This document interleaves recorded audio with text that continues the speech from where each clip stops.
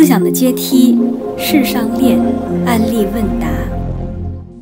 五十二，新宇老师，我有一段时间对生活中的各种事情都提不起兴趣，干什么都觉得很无聊。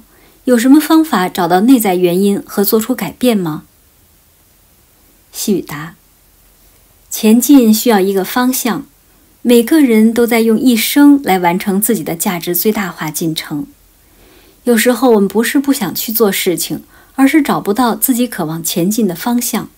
在那样的时期里，四周像是深沉的浓雾，任何行动反而会让自己感觉离想要的方向更遥远。于是自己选择了原地踏步，可是别人都在各种奔跑着，自己的内心也是渴望前行的。自己的无所作为与不想瞎作为之间形成了角力。这对顶着的力量让内在自我倍感煎熬。其实，这样的时期，每个人一生中都会遭遇到几次的。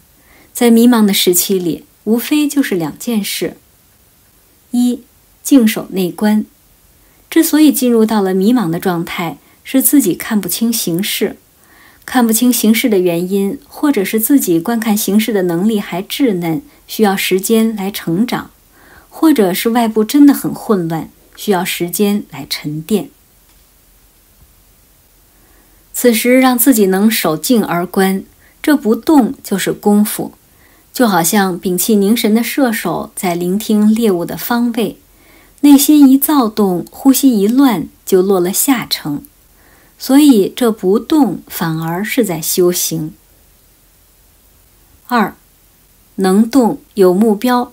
而没有射出自己这支箭的勇气，知道是时候当动了，但是开弓没有回头箭，射出去容易，可是自己没有把握能中，连一半的把握都没有。这时有时机、有目标、有手段，就是自己之前储备的能力不足，心中知道当动，也知道动后的结果，于是就僵在那里了。能力储备不足，是自己前期匮乏相应的磨练，所以没有把握。为什么匮乏磨练呢？因为每次都患得患失的，没有让自己去经历失败，也就没有机会获得成功，如此成为了一个循环。对应这个的办法很简单，那就是自己的观念，不要在意成败，先从小事上开始磨砺自己。